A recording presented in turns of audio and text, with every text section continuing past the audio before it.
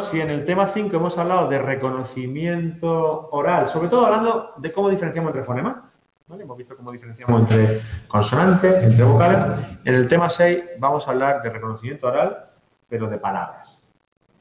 Que ya sabéis que es el ladrillo básico del lenguaje, la unidad mínima con significado. Aunque ya sabéis que la unidad canónica es la oración, la frase. Por eso ya habrá que reservar al siguiente tema cuando hablemos de sintaxis. Ahora vamos a hablar de palabras. ¿Cómo entendemos, reconocemos, comprendemos las palabras? Bueno, con una rapidez tremenda. Si, somos rápidos reconocimiento, reconocimiento fonemas, somos también igual de rápidos, prácticamente igual de rápidos reconocimiento, reconocimiento, reconociendo eh, palabras. Y eso a pesar de que en cada momento somos capaces de comprender decenas de miles de palabras. En nuestro diccionario mental, en ese léxico, ese lexicón que algunos llaman, tenemos un montón de palabras que entendemos. Y, todos los días vamos sumando palabras nuevas. Hombre, ya menos que cuando éramos pequeños, ¿no? Cuando somos pequeñitos, según parece, se aprenden unas 5.000 palabras al año. 13 palabras al día. Yo no sé ahora cuántas aprenderemos, aunque es verdad que se nos cuelan muchas palabras de otros idiomas, ¿no? Y fijaos que ya en la Real Academia ya parece que aquí admiten palabras ya con una facilidad. Últimamente habían metido casoplón. ¿Qué más habían metido? Hace poco, ¿qué otras palabras habían metido? Zasca. Zasca no estaba, es una interjección. Zasca. Bueno, no sé. Pero parece que toda la semana admiten palabras nuevas, ¿no? Antes era como más restrictivo, ¿no? Bueno. bueno, ¿cuántas palabras conoce una persona? Pues depende. Depende de muchas cosas, ¿no? De, su cultura, de su eh, posición, de su, de su capacidad léxica, ¿no? Bueno, entre 40.000 y 80.000, que ya son, ¿eh? Que ya son palabras. Eh, vamos a hablar algunos conceptos de lingüística, ¿no? En sentido estricto, la unidad mínima con significado es el morfema. ¿Qué es el morfema? Pues hay dos, tipos principales de morfema. Lo que se llama morfemas libres, que son palabras cuya raíz no lleva ningún sufijo ni ningún prefijo, que son ya la unidad mínima desnuda. Cárcel es un ejemplo, no tiene ningún sufijo ni ningún prefijo, ¿vale? Si pongo supercárcel, subcárcel, pues ya le meto prefijos, ¿no? Y luego los, morfemas ligados, que son precisamente eso, prefijo o sufijo. El término general son afijos, ¿no? Se ponen delante o detrás, a veces en medio, pero bueno, sobre todo delante y detrás, ¿no? Y que conocéis bien, ¿no? Por ejemplo, de normal, pues se puede generar anormal, ¿no? Poniéndole el prefijo, morfema libre a. Sub significa por debajo. Bueno, también tenemos sufijos que van por detrás. por ejemplo, si de casa, casaza, no es un aumentativo, ¿no? Ese hace es un aumentativo. Bueno, un lexema sería un morfema que tiene significado autónomo. Por ejemplo, en la palabra gatas, ¿vale? El lexema sería gat, porque eso es lo que tiene significado autónomo. autónomo. Y yo ya le meto sufijos para darle mayor riqueza morfológica esa palabra. Si le añado la A, pues es, la A del femenino, ¿no? gata. Y si le añado la S, la S del plural. He metido dos sufijos, uno para expresar género y otro para expresar número. Pero el lexema es gat.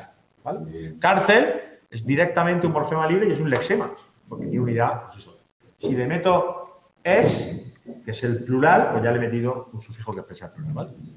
Bueno, hay también palabras que se llaman primitivas y otras que son derivadas palabra primitiva son palabras que en sí mismo tienen significado, árbol, cuchara, vivir, no proceden de otra. Y las palabras derivadas son las que proceden de, otra palabra que tiene significado autónomo. De árbol, pues podemos ver arboleda.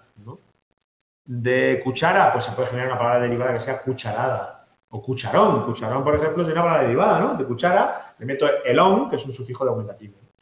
Y de vivir le puedo meter un prefijo, que es sobre, sobrevivir. O supervivir. Supervivencia sería otra palabra derivada de vivir. ¿Vale?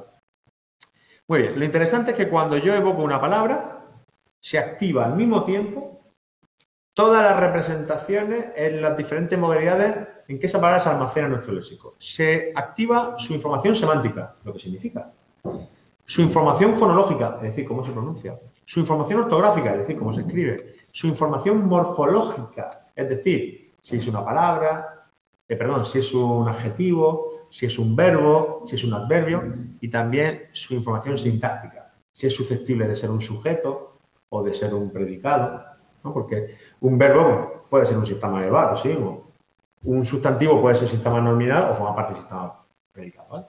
Al menos todo esto ocurre de manera implícita, aunque no nos percatemos, y hay experimentos de priming, de los que haremos un momento, lo demuestran. Pero como ya son las ocho y media, lo vamos a dejar justo en este punto.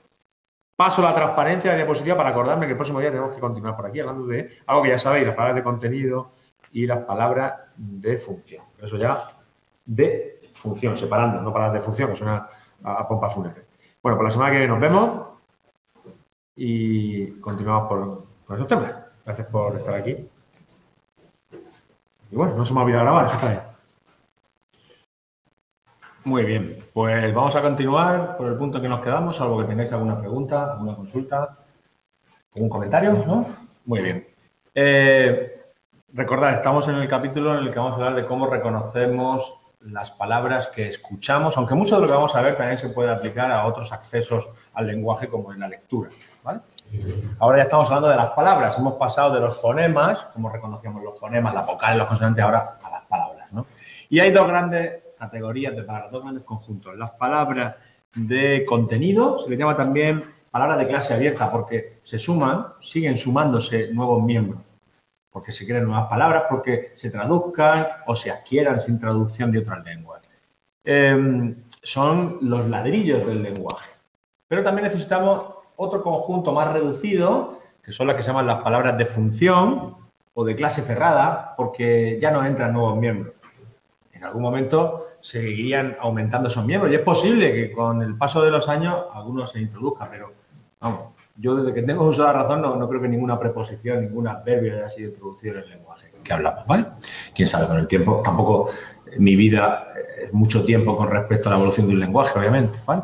Bueno, si las palabras de contenido que tienen significado en sí mismo son los ladrillos del lenguaje, las palabras de función son el cemento que une esos ladrillos para formar la oración, para formar la frase. Eh, ¿Cuáles son las palabras más usadas? Pues depende del idioma. En castellano, la palabra más usada, y tenéis una tabla ahí en la que viene esto organizado en una especie de ranking, es la preposición de, luego el artículo la, luego la partícula que, luego la conjunción y. ¿eh? En inglés, bueno, pues son parecidas, ¿no? El artículo de, la preposición of, and. Bueno, sabemos que la representación mental y el procesamiento de estas dos clases de palabras es diferente. Nos permite, por lo tanto, poder disociarlas. Son como dos vocabularios diferentes. En primer lugar, eh, hemos encontrado lesiones cerebrales que afectan selectivamente o con mayor perjuicio a un grupo y no a otro. Las personas que sufren afasia de Broca tienen más problemas con las palabras de función, con el cemento que une las palabras. Y en cambio, en, la afasia de, de Wernicke tienen, esos pacientes tienen más problemas con las de contenido. En la adquisición del lenguaje, las primeras palabras que se adquieren son las de contenido, son las primeras palabras que aprenden los niños. Luego hablaremos de la edad de adquisición de las palabras, porque hay palabras que tradicionalmente se aprenden antes en una lengua. Así rápidamente, pues mamá, papá, agua, leche, esas son de las primeras, ¿no? Y las de función se adquieren, mm, se adquieren más tardíamente cuando ya el niño empieza a eh, adquirir la regularidad del lenguaje, la sintaxis, que ya conocéis bien. Bueno, no bien, hemos hablado de ella, pero aún no hemos visto cómo se procesa. Hay temas, que no tengáis prisa porque ya tendremos tiempo de, dedicarle esfuerzo a ese, apartado. Y em, también sabemos que la frecuencia léxica afecta más a las palabras de contenido, pero no a las de función. ¿Qué es la frecuencia léxica? Pues es la frecuencia de uso típica que las palabras tienen. Como luego vamos a hablar de esa variable, eh, veremos lo importante que es para las palabras de contenido y, en cambio, no es tan importante para, las de función. Entre otras cosas, porque las palabras de función tienen, en general, una frecuencia léxica mayor que las de contenido. Luego lo veremos, así que no, hace falta que, me adelante. Bueno, a ver. Seguimos avanzando.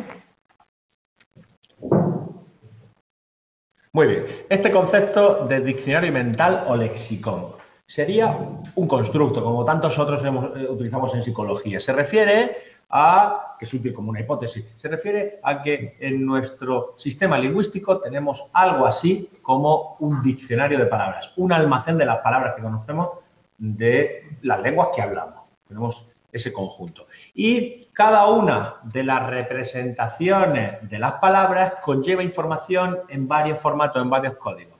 Información sobre la representación fonológica, es decir, los sonidos, cómo se pronuncia. Representación ortográfica, cómo se escribe. Representación morfológica, es decir, cuál es su papel eh, y su categoría gramatical, si es nombre, si es verbo, si es adverbio, si es eh, plural, si es singular, esas características morfológicas. Representación sintáctica, cuáles son las funciones que puede eh, disponer, que puede realizar en la frase, si puede ser sujeto, si puede ser predicado, si puede ser complemento circunstancial. Una representación semántica, el significado, ese implante mental que nos surge en la cabeza cuando escuchamos una palabra. Y además sabemos, y lo veremos en su momento cuando hablemos del procedimiento semántico, que las palabras están representadas en red, están conectadas en familias semánticas. ¿Vale? O sea que cada vez que se activa, que accedemos a nuestro diccionario mental y se activa un miembro, una palabra, se activan al mismo tiempo todas esas representaciones. A esto siempre como, en muchas ocasiones podemos encontrar excepciones. Si hablamos de personas que tienen analfabetismo, obviamente no se les puede activar la representación ortográfica, no saben cómo es. Solamente tienen representaciones fonológicas y el resto, por supuesto, también, ¿no? Las semánticas, todo esto. El hecho de tener representación morfológica o sintáctica no quiere decir que tú seas consciente de ella, es implícita. Adquirimos las reglas del lenguaje y muchas veces no sabemos muy bien eh, cómo es su formalización. A eso se encargan los lingüistas. Hay ocasiones que todos experimentamos en las que somos capaces de recuperar alguna de estas representaciones, pero no otra. Hay como una disociación entre códigos. Por ejemplo, el fenómeno típico de punta de la lengua, tipo de tongue que llaman los anglosajones, por eso lo pongo en tot, que son aquellas ocasiones en que sabemos a qué palabra nos estamos refiriendo, es decir, accedemos a su significado, pero no somos capaces de saber ni cómo se escribe ni cómo se pronuncia. A lo mejor nos viene algún dato parcial. Ay, pues mira, rima con esta otra palabra. Creo que tiene tres sílabas. Creo que empieza por este fonema. Incluso a veces somos capaces de decir si es un eh, eh, nombre, si es un adjetivo, si es un adverbio, la función que podría ocupar, pero no somos capaces de traer a la cabeza. Y esto a veces pues, nos desespera. Oye, es verdad hoy en día que eh, gracias a, Google, pues muchas veces te pones ahí a buscar y enseguida encuentras la palabra, ¿no? muchas veces te asocian nombres propios, ¿no? De actores, actrices, nombres de, de personajes famosos o populares, ¿no? Y luego nos encontramos con lo que sería un trastorno, la anomia, que ocurre en personas que tienen enfermedades neurodegenerativas o que está asociado al envejecimiento. Aunque sea un envejecimiento sano, pues también causa algún tipo de deterioro. Que cuando tienes dificultad tremenda de acceder al nombre de las cosas. Esto es uno de los síntomas de la enfermedad de Alzheimer, por ejemplo, perdón, de la demencia tipo Alzheimer provocada por la enfermedad de Alzheimer, ¿vale? en la que los pacientes no son capaces de adquirir, hola, buenas, de eh, acceder en su diccionario mental a la palabra concreta. Y si en cambio pues son capaces de manejar los significados. Bueno, la primera pregunta que se hicieron los investigadores al crear este concepto del léxico. ¿Qué tenemos en nuestra cabeza? ¿Un listado exhaustivo de todas las palabras que existen en nuestra lengua, en la lengua que conocemos nosotros, o en cambio un listado parcial? Es decir, basado en los morfemas, en los lexemas básicos, y luego ya le metemos prefijos o sufijos para hacer las derivaciones. ¿Qué tenemos? ¿Un léxico completo exhaustivo o uno parcial?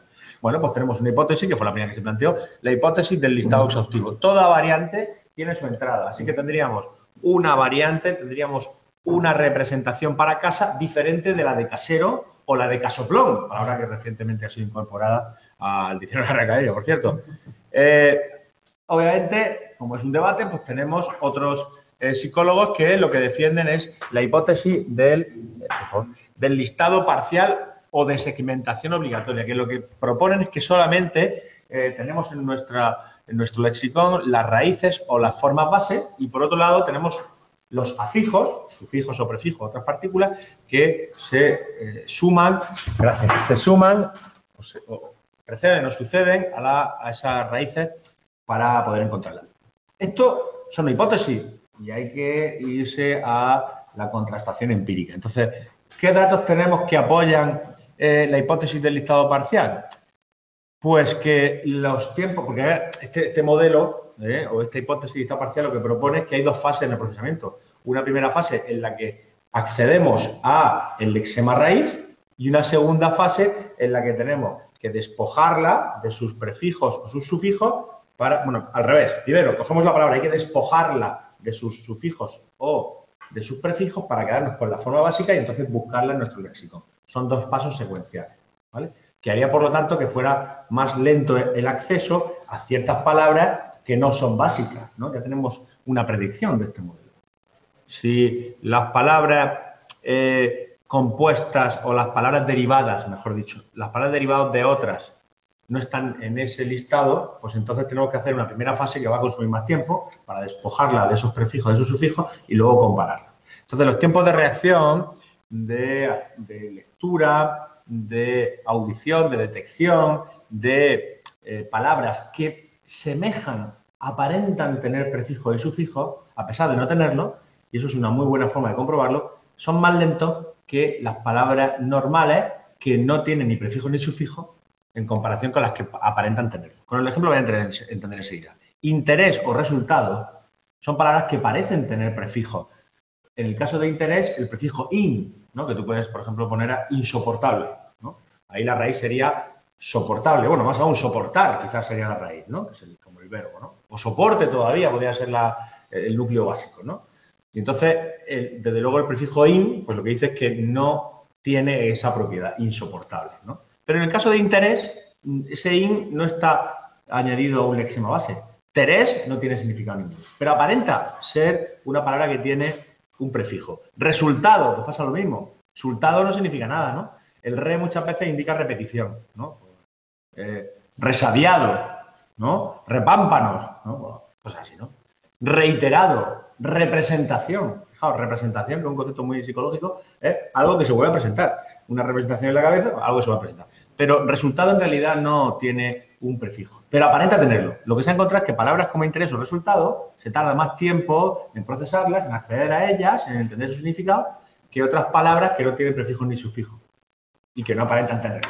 ¿vale? Lo cual, como veis, es coherente con la, hipótesis del listado parcial, de que tenemos que hacer una operación previa para limpiar, aparentemente limpiar, de lo accesorio y quedarnos con el núcleo base. ¿vale? Los tiempos de reacción de pseudopalabras que tienen morfemas reales son también más largos que las pseudopalabras que no tienen morfemas reales. El ejemplo que pone el libro es florister. Florister es una palabra que no existe, ¿eh? porque en realidad es florista. ¿De acuerdo? La palabra correcta es florista, ¿no? Es como decir panaderista. Panaderista no existe, es panadero, ¿vale? ¿Qué ocurre? Que floristero o panaderista se tarda más tiempo en eh, identificar que se trata de una pseudopalabra que eh, otras palabras como centomi, que, no contiene dentro de ella ninguna palabra. Bueno, esto también es coherente con la hipótesis.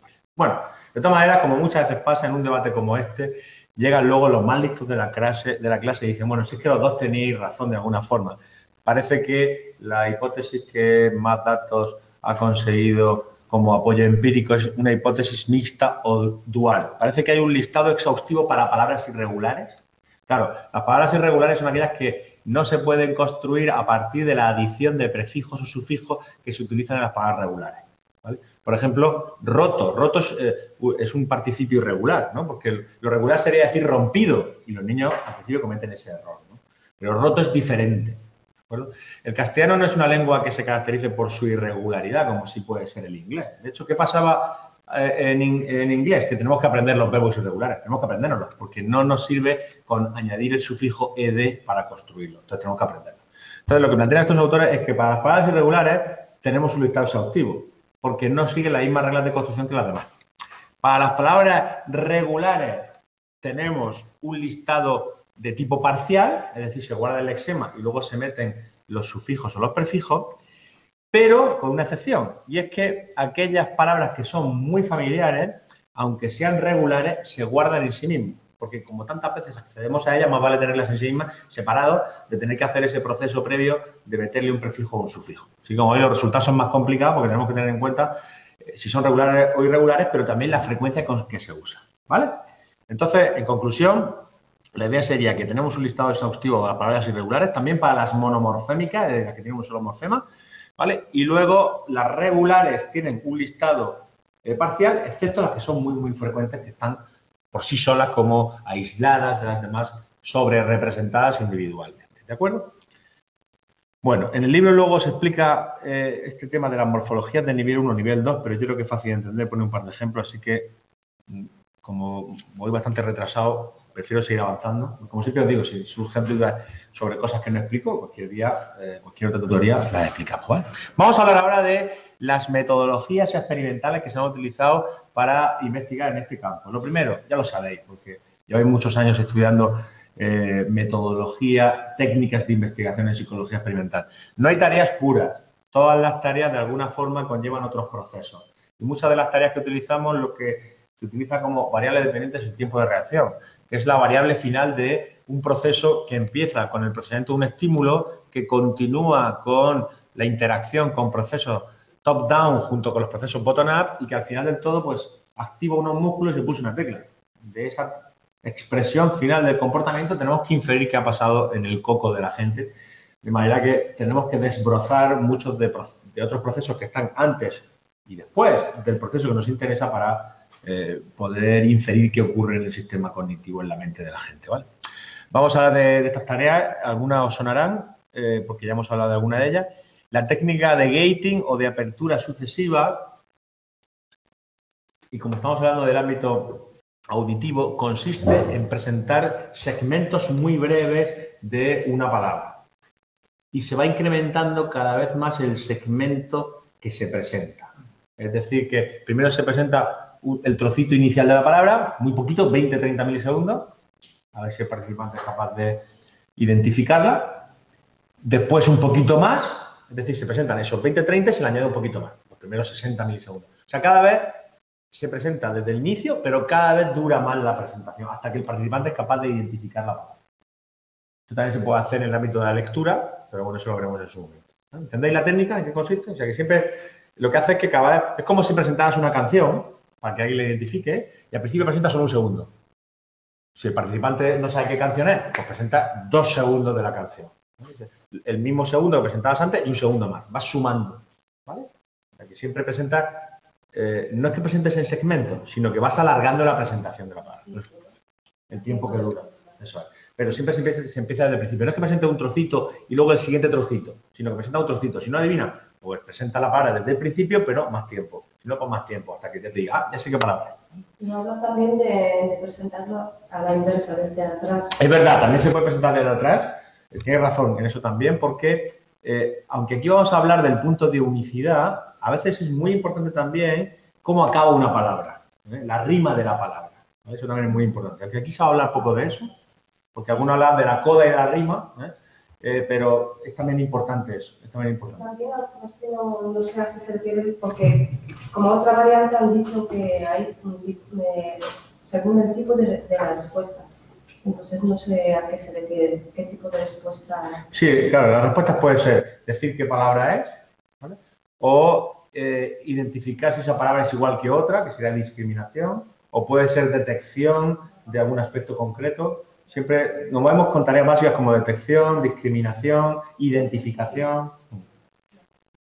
Puede ser también clasificación, puede decir si, si es un, y alguna de estas tareas lo veremos, si es un animal o es una parte del cuerpo. Eso ya indica categorización. Muy bien. La detección de estímulos, el monitoring, eh, esto es una tarea dual, ¿vale? Porque al sujeto se le dice, mira, tienes que detectar la presentación de un estímulo lingüístico concreto. Y ese estímulo lingüístico puede ser un fonema, puede ser una sílaba o puede ser una palabra entera, ¿vale? Eh, mientras está procesando un material lingüístico. Habitualmente se presentan frases. Presentan frases, ¿vale? El participante tiene que procesar la información de esa frase. Pero también se le dice, porque luego probablemente se van a hacer preguntas sobre la frase, pero también se le dice, en el momento en que dentro de esa frase escuches un fonema concreto, o escuches una sílaba concreta o una palabra concreta, tienes que pulsar una tecla con la mayor rapidez posible. Como en muchas de las tareas duales, lo que hacemos es investigar el perjuicio que supone sobre la respuesta el hecho de tener que hacer otra tarea, la interferencia que otra tarea te genera. Porque es una forma indirecta de medir la carga mental que te genera esa tarea. O sea, estamos midiendo como variable dependiente el tiempo que tarda el participante en pulsar la tecla para detectar ese elemento lingüístico. Pero en realidad lo que queremos es comprobar cuán dificultoso es el procesamiento o cuánto tiempo tardamos en el procesamiento de la otra tarea por cómo interfiere. Cuanto más lento eres en responder la detección, es porque la otra tarea que estás haciendo te está consumiendo más recursos. O sea que la interferencia es una forma indirecta de medir cuán eh, cargante para nuestra mente, cuán dificultosa es esa tarea. Veremos ejemplos en los próximos temas sobre tareas de ese tipo. Tarea de decisión léxica, ya la conocéis. Se presenta una palabra o una pseudopalabra o una secuencia de letras impronunciables. Pues ya sabéis que una pseudopalabra es algo que se puede pronunciar con las reglas fonéticas de un idioma, pero que no significa nada. Centomi, por ejemplo, camaler, eh, floristero. Y eh, una palabra es una secuencia pronunciable que sí tiene significado casa, eh, perro, y luego una secuencia de letras que no pueda ser pronunciable, pues aquí tenéis ejemplos, ¿vale? Eh, el sujeto tiene que decir sí o no, ¿vale? Un resultado clásico. Las respuestas de tipo no siempre son más lentas. Siempre se responde más rápidamente identificando una palabra que existe en una lengua que diciendo que no es una palabra, ¿vale? Y luego veremos las diferentes hipótesis que los modelos han planteado. Pero bueno, intuitivamente podríamos decir, claro, siempre tarda más tiempo en descubrir que no llevas algo en la mochila que descubrir que llevas algo. Porque para descubrir que no llevas algo, pues tienes que explorar todas las cosas que llevas en la mochila. En cambio, para descubrir que llevas algo, en promedio, pues tendrás que revisar la mitad. Si tienes suerte, el primer objeto que cojas es el que estás buscando. El chero, por ejemplo.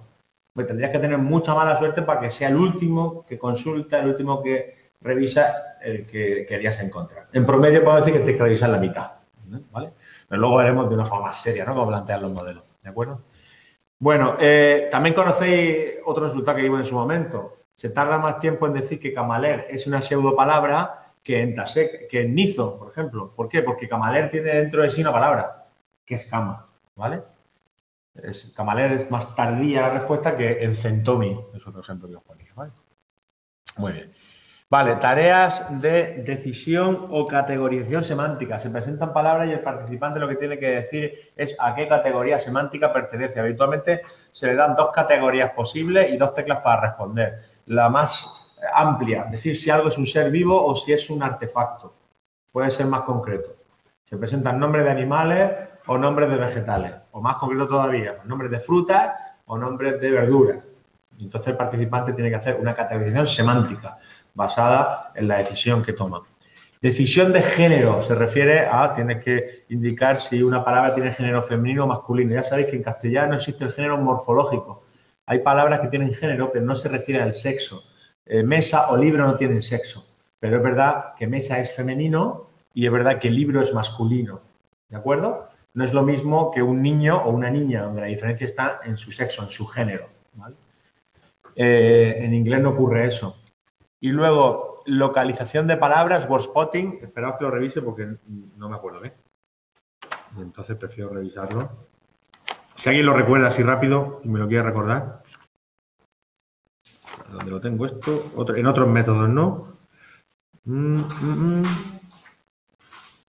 Vale, se presenta auditivamente un listado de palabras o de, o de y el participante lo que tiene que hacer es indicar cuando aparece una palabra, aunque sea dentro de otra. El ejemplo que pone, salpe, pues habría que decir que hay una palabra que es sal.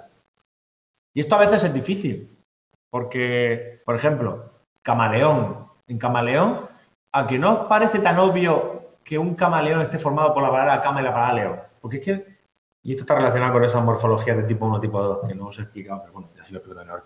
O sea, tú piensas en un camaleón y a que no te viene a la cabeza una cama y un león, porque un camaleón, pues ya sabes, un bichejo, ¿no? Es como si fuera una especie de lagarto o algo así, ¿no? Que, lo interesante es que cambia, se camufla muy bien, ¿no? Es camaleónico. Pero, pero es verdad que no hay una asociación directa entre juntar la palabra cama y león y que de la unión de ambas surja ese, significado. ¿De acuerdo? O sea que no es tan obvio, ¿no? Pero en la tarea de wordspotting tendrías que decir el camaleón, y ahí tendrías que decir que hay dos palabras dentro de camaleón, camaleón. ¿vale? En eso consiste la tarea, ¿de acuerdo? Entonces se presentaría secuencia sin significado y en, algún momento tienes que decir, si por ejemplo dicen salpe camaler, pues ahí tendrías que decir que hay sal y cama. ¿Vale? ¿Entendés lo que quiero decir? Eso consiste. ¿Y esto por qué se utiliza esta tarea? Porque lo que hace es simular la segmentación del lenguaje que hacemos continuamente en la vida cotidiana. Daos cuenta que cuando estamos hablando verbalmente, no separamos claramente entre las palabras. Cuando escribimos, sí. Si yo, si ponemos el agua, ¿no? Pues ponéis el por un lado y el agua por otro. Pero cuando yo digo el agua, estoy diciendo una, sola expresión. Es difícil cortar el agua. Estoy juntando la L de él ya con la A de agua. Y eso claramente se expresa muy bien cuando escuchas una lengua que no dominas. Es que no sabes ni cuáles son los trocitos de palabras, no eres capaz de segmentarlo. Y personas analfabetas, mm, tampoco eh, ellos tienen una expresión obvia de que piensen que el agua son dos palabras diferentes. O sea, piensan casi que, pues, y de hecho la pueden juntar. Muchas veces pasa, ¿no? Que ves personas que juntan dos palabras. Despropósito. Y te, y te separan. Des por un lado y propósito por otro, ¿no? O despropósito, ¿no? O sea, que no es tan obvio. Y esta tarea lo que hace es simular eso sin tener que recurrir a la lengua que no conozca. ¿vale? Ver cómo es capaz tú de segmentar unidades con significado. Muy bien, pues como iremos viendo a lo largo de los próximos temas ejemplos de estas tareas, porque estas tareas se pueden utilizar por una versión auditiva o también por una versión escrita. Bien, vamos a hablar ahora de variables moduladoras de reconocimiento. Lo que hace se llaman las Newsome Variables, aquí no le ponen ese nombre, pero sabemos que son factores relacionados con las palabras que facilitan o dificultan, modulan al fin y al cabo, su procesamiento, su procesamiento y debemos conocerlas bien. En primer lugar, el punto de unicidad, y luego veremos una teoría que trabaja sobre este tema. El punto de unicidad se refiere al punto en el que una palabra se vuelve exclusiva. Daos cuenta que en el lenguaje oral lo que se produce es una expresión acústica en el tiempo. Entonces, si yo digo la palabra maletero, pues primero se pronuncia ma, luego le, luego te y luego lo. O hay un punto en el que nosotros vamos procesando la palabra y conforme vamos añadiendo nuevos fonemas, nuevas sílabas, se va reduciendo el conjunto de posibles palabras de nuestro léxico, de nuestro diccionario mental, que pueden coincidir con lo que estamos escuchando. Porque cuando escuchamos ma, ma, hay un montón de posibles opciones. Maleta, masa, Málaga, Madrid, ¿vale? Cuando ya pronunciamos male, cuando pronunciamos male, ya nos quitamos de encima muchos candidatos. Nos quitamos Madrid, por ejemplo, nos quitamos Málaga. ¿Qué nos queda? Pues maleta, maletero, maletín. Cuando escuchamos maleté, ya se nos elimina maleta, se nos elimina maletín.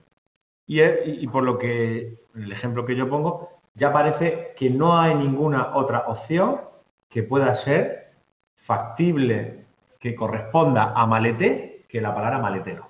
Luego, el punto de unicidad de maletero sería esa última letra E, ese último fonema E, que ya desambigua y reduce las posibilidades de nuestro léxico a una sola palabra, que es maletero. Así que en este caso, como veis, tenemos un punto de unicidad relativamente tardío, que ocurre después de las tres primeras sílabas. Mirad ahora el caso de elefante. Si yo digo E, hay un montón de palabras que pueden venir. Si digo L, pues hay un montón de palabras. Pero en cuanto digo elef y ya empiezo a pronunciar el fonema F, ahí se encontraría su punto de unicidad. A lo mejor se os ocurre alguna otra palabra, porque, por ejemplo, elefantiasis, ¿no? Creo que es una enfermedad. A lo mejor, si quitáramos elefantiasis, imaginaos que alguien no conoce esa palabra, pues el punto de unicidad sería la F. Eso significa punto de unicidad. El punto en la expresión oral, o si lo estuviéramos escribiendo, pero el punto en la expresión oral, en que una palabra ya se vuelve única, porque ya no hay más candidatos que puedan corresponder dentro de nuestro léxico, esto siempre está referido al léxico de una persona, ¿vale? Al léxico concreto de una persona, no tanto al léxico general de la lengua. Pero bueno, si se ponen ejemplos porque valga para todo. El punto en el que ya se vuelve única porque no hay más candidatos que puedan competir, ¿vale? Frecuencia léxica, que es uno de los factores más importantes. Se refiere al uso de las palabras para una persona en concreto, pero habitualmente se intentan realizar estudios normativos para ver cuál es la frecuencia promedio de las palabras. En el manual, en la tabla 6.1, pues tenéis eh, información sacada de una de las baterías más utilizadas en castellano que se llama LESEP, que tiene más de 5 millones de vocablos, de eh, representaciones léxicas, y ahí os coloca las palabras que tienen mayor frecuencia de uso, que se ha visto en registros, tanto orales como registros escritos, que más se utilizan. No podría ser de otra manera, son palabras función, como veis la inmensa mayoría. Tardamos bastante en avanzar hasta que por fin encontramos palabras de tipo contenido que tenga una fuerte, una elevada frecuencia léxica. Esto, eh, otra forma de decirlo sería su familiaridad subjetiva. Hay palabras que nos resultan más familiares que otras. Hay palabras que usamos más en nuestra lengua cotidiana que otras. Pues agua es una palabra muy utilizada, lápiz, perro. Cambio, palabras como anticonstitucional, estética, metafísica, pues a lo mejor son palabras menos utilizadas, ¿no? eh, verborrea. Bueno, a lo mejor verborrea en un ámbito psicológico como el que digo vosotros, se utiliza bastante. Vale. Eh, y entonces, como digo, la forma de estudiar esto es, tirar de diccionarios que hayan sido recopilados por investigadores y que publiquen eso para que otros investigadores lo utilicen. LESEP lo puedes utilizar, accesible online. Entonces, si quieres hacer un estudio en el que quieres investigar cómo la frecuencia léxica afecta al reconocimiento de palabras, pues tiras de esa, eh, de esa forma promedio. Y confiamos que la gente de una misma cultura, del mismo país, pues tengan esa, esa frecuencia, ¿vale? Eh, la mayoría de baterías se han utilizado muestreos de textos escritos porque es mucho más fácil acceder a ellos y meterlos en el ordenador para que identifiquen las palabras. Entonces, claro, hay un sesgo y no hablamos igual que escribimos. Y esto en los últimos años se está intentando resolver con el acceso a los subtítulos de las películas, que es muy fácilmente accesible, como sabéis, porque te lo puedes descargar incluso de Internet con la proliferación del pirateo, ¿no? que durante mucho tiempo hubo, pues mucha gente pues, bajaba por un lado las películas, la serie y por otro lado los subtítulos.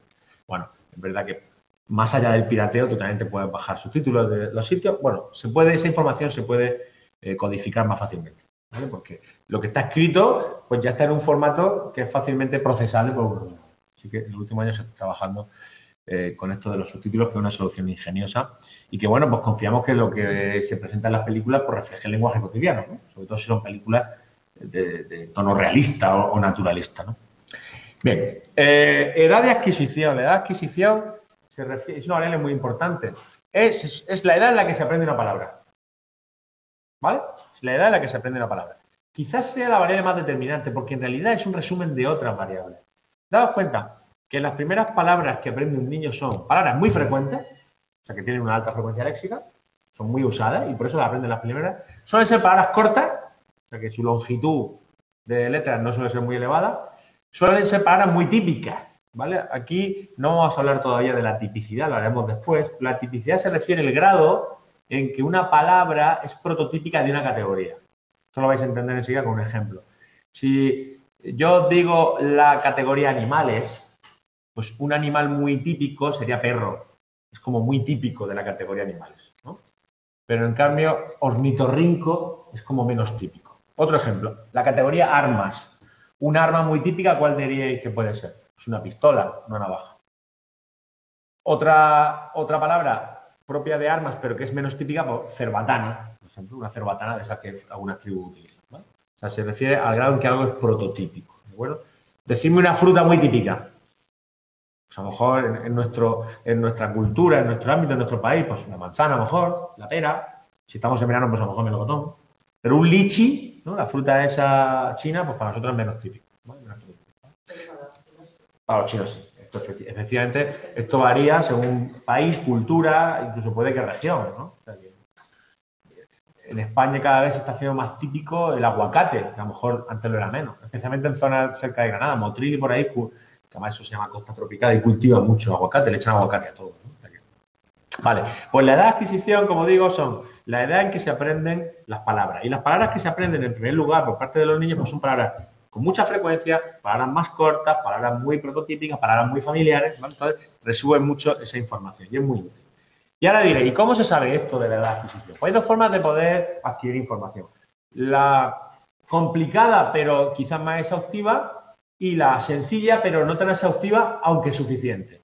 Las medidas objetivas son aquellas de irte a colegios, a guarderías y comprobar cuáles son las palabras que conocen los niños. Presentarles dibujos y entonces ver si conocen o no conocen ciertas palabras. Esa es la forma objetiva. Y entonces tú vas a grupos de niños de dos años, de tres años, de cuatro años, cinco años, de estudio, porque como veis es complicado. Ir al ambiente psicológico. La forma sencilla, lo que se llama medidas subjetivas. A gente adulta le preguntas cuándo cree que adquiere una palabra. Nosotros hemos hecho estudios de este tipo y esta es una captura de pantalla de cómo tomamos los datos. Se presenta la palabra iglesia, veis que estamos diciendo la categoría a la que pertenece, pero esto es por otra cosa del estudio, ¿vale? Se presenta la palabra iglesia y se le dice a la persona, valora la edad en la que crees que esta palabra se ha aprendido. Tú la has aprendido. ¿Cuándo crees que tú la has aprendido? Si puntúas con uno, es que ha sido muy temprana antes de los dos años. Un 2 entre 3 y 4. Un 3 y de vosotros. ¿Y cómo vas a saber esto? Bueno, pues la gente más o menos va graduando y lo que sabemos, y esto es interesante, es que estas medidas subjetivas correlacionan y muy, de manera muy elevada con las medidas objetivas. O sea que para palabras que no tengamos medidas objetivas, podemos tirar de las subjetivas y podemos estar relativamente tranquilos de que correlaciona. Es una medida aproximada, es cierto, pero es muy fácil de adquirir. Y la puedes adquirir incluso para los propios participantes en un estudio concreto. Estás trabajando con un estudio de eh, lectura de palabras, a esos mismos participantes que han medido su tiempo de lectura, les puedes preguntar luego cuál es la edad de adquisición en la que cree que adquirió la palabra. ¿Vale? Ya de paso le preguntas otras cosas, le preguntas familiaridad con la palabra, le preguntas tipicidad, por ejemplo. Eh, ¿Qué más cosas les preguntábamos? Familiaridad, tipicidad, la frecuencia léxica, eso las quiere de estos corpus que hemos visto, de que hemos visto, el Lextech, por ejemplo, que alguna cosa más le preguntábamos, no recuerdo ahora. Le puedes preguntar también imaginabilidad, que ahora lo vamos a ver. El grado en que te lo puedes imaginar. Hay cosas que son fáciles de imaginar porque son eh, eh, iba a decir más concretas, pero no quiero confundir varias, ahora lo veremos, ¿no? Le puedes preguntar todo eso, ¿vale?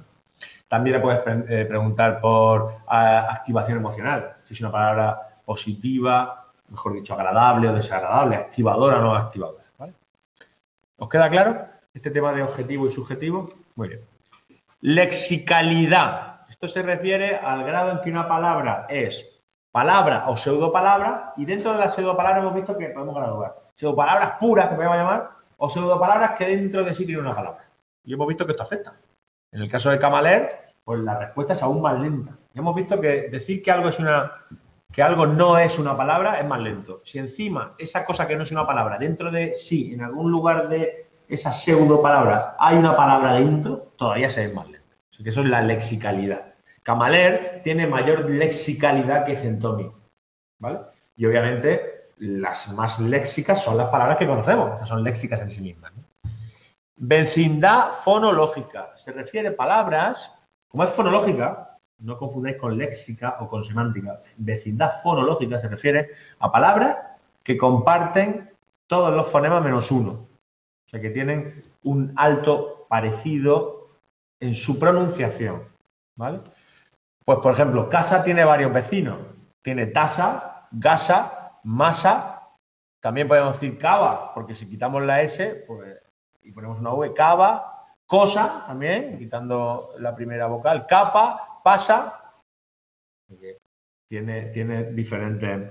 Hay datos, en esto hay datos contradictorios sobre si es mejor tener vecinos o no, hay datos contradictorios, pero bueno, como respecto a la definición que estamos dando, luego hay palabras que no tienen vecinos, como tifus, ahí, ahí llama una metáfora que es bonita, ¿no? Palabras ermitaño. ¿no? Bueno. Eh, esto sería manera modular, moduladoras importantes. Las dos más importantes, sin lugar a dudas, son frecuencia léxica y edad de adquisición. Entre otras cosas, porque quizás edad de adquisición dentro de sí tiene información sobre frecuencia léxica. Ah, bueno, antes no lo he dicho. Hay otros autores que dicen que más importante que la edad de adquisición, más importante que a qué edad aprendes una palabra, lo importante es el orden en que las aprendes. Es decir, el hecho, las primeras palabras que se aprenden digamos que se encuentran con un sistema lingüístico virgen todavía. Y esas palabras, digamos que se consolidan mejor. Las que vienen después tienen que aprovechar los huecos que quedan y su representación no es tan clara, porque ya se ha horadado el terreno. Entonces, algunos opinan que, pero es difícil poder diferenciar entre ambas cosas, porque si la mayoría de niños con los que trabajamos aprenden el lenguaje a la misma edad, ¿vale? O sea, lo que queremos decir con esto es que el niño salvaje de Aveirón, lo importante en ese niño no era la edad en la que aprendía las palabras. Aunque bueno, eso sí era importante con respecto a si existe un periodo crítico o no. Lo que quiero decir es que para él lo importante serían las primeras palabras que aprendió, serían las que más facilidad tendría, más allá de la dificultad que sabe. algunos autores han reconceptualizado este concepto y dicen orden de adquisición. Pero bueno, como los niños con los que trabajamos casi todos aprenden a hablar a la misma edad, pues no tienen por qué preocuparnos. Pero es verdad que algunas teorías dicen eso, que la edad de adquisición es importante para este tema de si ya hay una estructura léxica sobre la que luego sobreviene otra, y entonces es más difícil que esa palabra se consolide porque hay menos espacio. Ya, digamos, los senderos eléctrico-químicos de nuestro cerebro ya están más consolidados y menos flexibilidad, así decirlo. Tienen más dificultad de ser representables. ¿vale? Otro efecto importante con respecto a las palabras es lo que se llama el efecto del contexto. Y esto sobre todo se ha estudiado con una tarea que conocéis bien, que es la tarea de priming. El efecto del contexto, que es un tipo de efecto top-down, se refiere al hecho de que eh, cuando estamos en un contexto semántico o sintáctico relevante para la palabra que tenemos que procesar, puede que eso favorezca o desfavorezca. Es decir, si estamos hablando de una conversación sobre hospitales, es más fácil que se active y que accedamos a palabras que estén relacionadas con eso. Palabras como enfermera, palabras como médico, palabras como eh, medicamento. Más fácil. ¿Esto cómo se estudia en el laboratorio? Con el paradigma de priming. El priming puede ser auditivo o puede ser visual. Yo lo voy a explicar aquí visual, pero lo mismo sería, solo que con auricular y con palabras eh, oídas en vez de leídas. ¿no? El paradigma de priming ya sabéis que se presentan dos estímulos en rápida sucesión. Y lo que nos interesa es comprobar cómo se procesa el primer estímulo por cómo influye la respuesta que quedará el segundo. El primer estímulo se llama prime, el sujeto no tiene, habitualmente no tiene que responder a ese estímulo, pero lo que tiene que hacer es esperar a que aparezca el segundo estímulo que se llama probe o target, sobre el que pedimos una tarea y medimos tiempo de reacción. Puede ser una tarea de decisión léxica, puede ser una tarea de categorización. Pues aquí, en este ejemplo que os pongo, imaginar, pues una tarea en la que el participante tiene que decir si el probe que se presenta son animales o son vegetales, por ejemplo. Entonces, pues aquí perro es un animal, obviamente. Entonces, se responde más rápidamente haciendo esa tarea si perro va precedido de gato que si perro va precedido de enfermera. ¿Por qué? Pues porque aquí hay un contexto semántico, en el caso de gato, que está preactivando esa familia de palabras y perro entre ellas. Esto es un tipo de priming semántico. ¿De acuerdo? Porque no podemos aludir a que se deba a una semejanza fonológica o fonética, sino una semejanza de significado. Imaginar, en cambio, que el paradigma fuera el tener que identificar entre profesiones y países. Si gato precede a doctor, se tardará más tiempo, el tiempo de reacción será más largo que si doctor viene precedido por enfermera, porque aquí hay un efecto de facilitación semántica. ¿De acuerdo? Bien, el priming de repetición sería cuando repite la misma palabra. Con respecto a no repetir la misma palabra. El hecho de repetir una misma palabra, pues hace que se procese más rápidamente la segunda. Claro, una misma palabra comparte el mismo sonido, la misma representación ortográfica, la misma representación semántica. No hay mejor contexto que la propia palabra. ¿vale? El priming fonológico, pues utilizar palabras que tienen semejanza, palabras que rimen, palabras, palabras vecinas que compartan sonido. Priming eh, semántico, ya lo hemos explicado, que compartan significado, aunque no compartan fonología. Incluso se puede hablar de priming afectivo emocional, que ha sido muy investigado, por el cual cuando hay congruencia la valencia afectiva se responde más rápido que cuando hay incongruencia. O sea que si eh, la palabra muerte viene precedida por cáncer, se responde más rápido con la tarea que haya que hacer. Puede ser decisión léxica, categorización, lectura, que si muerte viene precedida por beso. Es una palabra positiva. También hay corpus normativo que te dice cuál es la valencia afectiva de las palabras, que se ha hecho en población general. Esos estudios pues, le dice a la gente que evalúe en una escala, por ejemplo, de 0 a 10, cuán positiva es una palabra o cuán negativa. Con esos estudios corpus. A eso puedes preguntar a los mismos participantes de tu experimento. Bueno, esto de priming lo habéis visto en muchas. Bueno, un parámetro crítico en el priming es el SOA, que esto lo visteis seguro y que la atención, me consta, ¿no? el Stimulus Concept Asynchrony, es la asincronía entre el inicio del prime y la presentación del pro. Esa variable es crítica, porque incluso con los mismos estímulos, el hecho de alargar o acortar el SOA puede producir efectos contrapuestos. De hecho, es bien conocido un efecto en el priming semántico con el cual, si tú presentas, en el ejemplo que ponía antes, ¿no? presentas gato y luego perro, pues se responde más rápido que si delante de perro pones mermelada. Bien, si amplía mucho el SOA, hay un punto en que se invierte el efecto. Palabras relacionadas semánticamente hace que respondan más lento. Y palabras que no están relacionadas hace que respondan más rápido. Es decir, pasas de un premio positivo, la presentación del primer estímulo te hace ser más rápido, a un premio negativo, solo con cambiar el SOA. Hay teorías que explican que cuando tú presentas la palabra gato, se activa la red semántica y se activan los nodos que representan perro, ratón, ¿vale? Pero si pasa mucho tiempo, lo que ocurre es que esas representaciones decaen y caen por debajo de su nivel de reposo, una especie de peor refractario. Y hasta que vuelve a recuperarlo, si vuelve a aparecer esa palabra, te cuesta más activarlo y por eso tarda más tiempo. El, mero cambio de SOA puede invertir el patrón, Bueno, esto no viene a explicar en el libro, me está enrollando, pero creo que es interesante, ¿vale? Vale.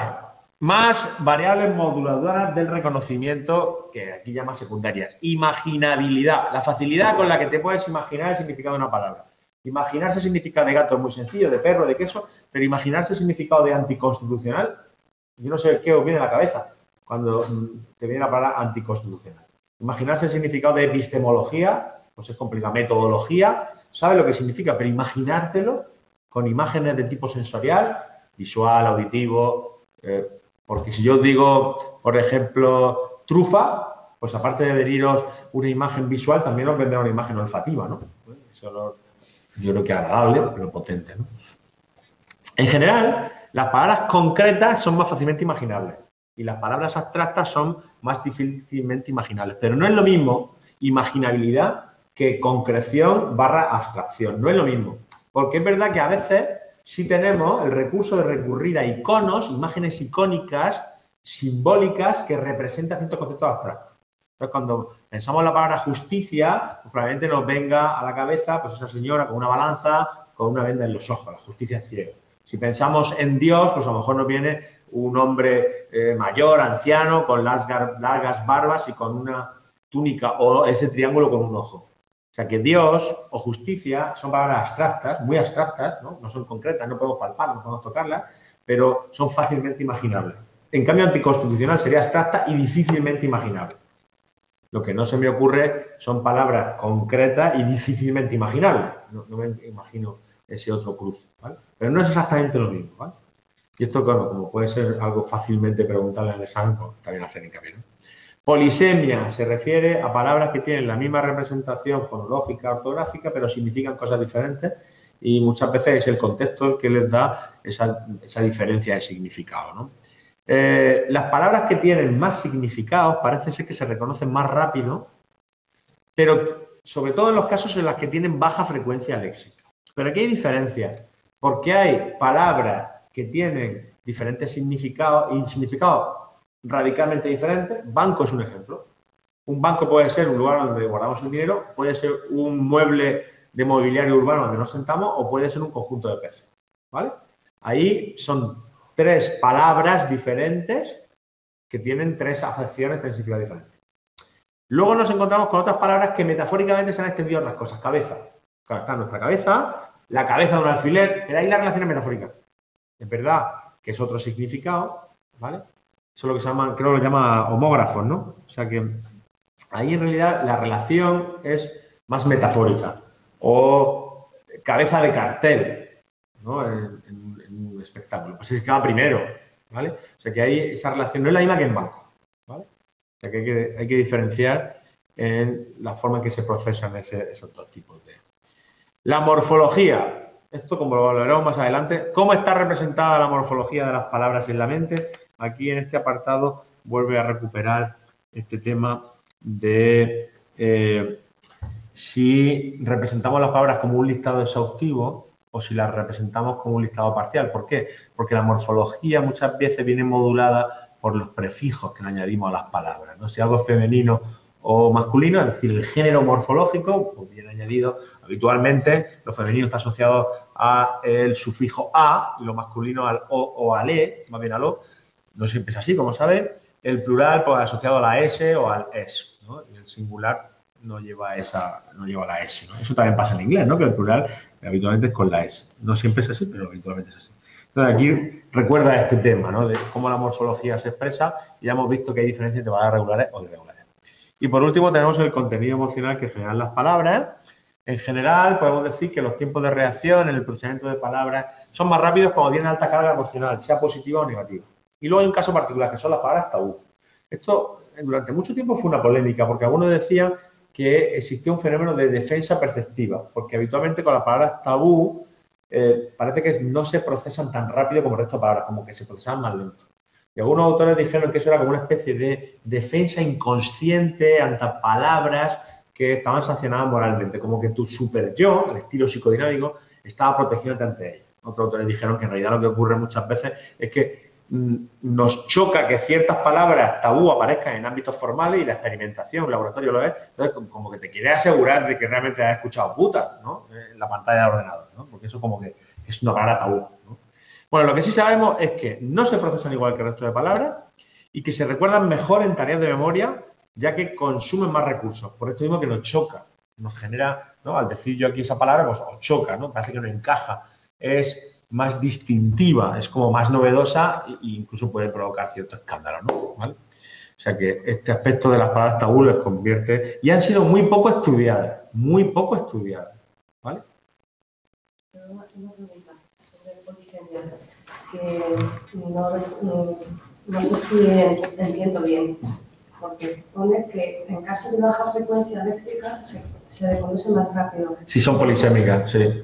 Tiene que ser una palabra poco usada, que tenga varios significados. Hay el hecho de que tenga más significados como que le ayuda a ser procesado. Si tiene una alta frecuencia léxica, da igual si tiene palabras polisémicas o no. Eso es lo que yo entiendo de ese resultado. Que, por ejemplo, nos ayudaría reconocer banco cuando nos referimos a los peces que no es tan frecuente, porque las otras sí que son frecuentes. ¿no? Claro, aquí lo que se refiere es que, eh, pero claro, banco es una palabra que tiene alta frecuencia. O sea, en los diccionarios de frecuencia de las palabras no se diferencia por su significado, sino por su expresión. Entonces, banco es muy usado, banco muy usado. O sea, frecuencia léxica no se refiere a, frecuencia del significado, sino a frecuencia del vocablo, sin importar su acepción. Entonces, banco, en banco da igual, porque banco ya es muy frecuente, una palabra bastante frecuente, ¿no? Yo creo que eh, y de una edad de adquisición relativamente temprana. Yo creo que los niños, ¿no? sobre todo el banco, el banco de PC a lo mejor no tanto, pero eh,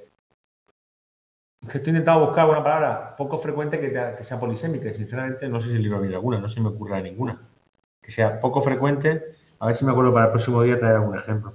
Pero hay como que cuando es poco frecuente el tener diferentes acepciones, diferentes representaciones semánticas, aunque solo tengas un vocablo léxico, te ayuda a su procesamiento. Pero cuando tienen frecuencia media o alta, da igual. Eso es lo que, lo que quiero entender. ¿eh? La verdad es que no, no recuerdo ningún estudio que haya investigado esto. Vale, pues vamos a continuar. Bien, llegamos ya a los modelos, a las teorías. ¿Vale? A las cajas y a las flechas. ¿De acuerdo? Y para construir cajas y flechas, pues uno lo que tiene que hacer es, en primer lugar, tener un conjunto de datos que de pronto se te ocurra cómo poder explicarlo. ¿Qué es un modelo, al fin y al cabo? ¿Qué es, eh, ¿qué es una teoría? Pues son aproximaciones del mundo. No son el mundo en sí mismo, son maquetas del mundo. Son caricaturas del mundo. Todo modelo, toda teoría lo es. La teoría de la relatividad de Einstein pues es un acercamiento, una aproximación al mundo que está intentando explicar. Claro, en física pues, tiene un amplio espectro porque intentan explicar la realidad en sí misma, los fundamentos de la materia o del tiempo o del espacio. En psicología lo que intentamos es explicar los fundamentos, en psicología cognitiva en particular, pues un modelo de funcionamiento del comportamiento del software de los programas que ejecuta ese cerebro mm, no formado por, no por chips de silicio, sino formado por neuronas y por carbono. Eso es un modelo. Ahí tenéis, yo creo que demasiado larga, una reflexión sobre qué son los modelos. Os habla un poquito de filosofía de la ciencia. No sé por qué a cuento que a esta altura se ponen a explicar lo que son los modelos. Pero bueno, los modelos pueden estar basados en metáforas, en analogías. Entonces, que no os sorprenda que ahora vamos a ver modelos que cuando intentan explicar cómo es el reconocimiento de las palabras, cómo accedemos al léxico, pues hacen analogías, pues, pues cómo funciona una biblioteca o cómo funciona una base de datos, que son modelos que nosotros conocemos que nos vienen bien. La metáfora, la analogía ha sido muy utilizada en ciencia. Todos tenemos en la cabeza esa analogía, esa metáfora de los átomos, que son como si fueran pequeños sistemas solares, ¿no? En el que hay un núcleo central formado por neutrones y protones y alrededor de ese núcleo central, como si fueran satélites que orbitan alrededor, están los electrones. Que fue pues, un modelo que en su momento funcionó, que sabemos que no corresponde. Ya después de la revolución de la física cuántica, pues sabemos que los electrones no son hechos puntuales, ni siquiera los podemos localizar en un sitio concreto. Me parecería más como una especie como de distribución probabilística. Es complicado, ¿no? Poder entender eso.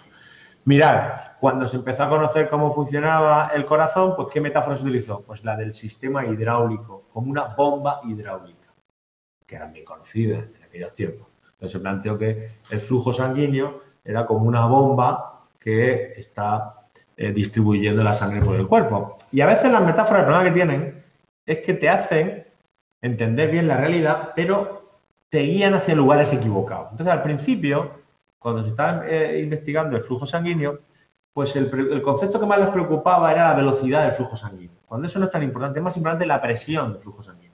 Fijaos, la presión sanguínea, qué importante es como factor de riesgo para la enfermedad cardiovascular. E incluso qué importante es la presión sanguínea como variable psicofisiológica, que está relacionada con, aparte de la tasa cardíaca, que es obvio, pero la presión sanguínea también está relacionada con el estrés y también está relacionada con la activación fisiológica del sistema simpático, ¿no? del sistema nervioso periférico simpático. Entonces, las metáforas en ciencia eh, son útiles, pero a veces te pueden dirigir. ¿Recordáis, por ejemplo, una de las metáforas más utilizadas en psicología cognitiva? ¿no? Entender la atención como si fuera un filtro, como si fuera un embudo, y solo puede pasar uno.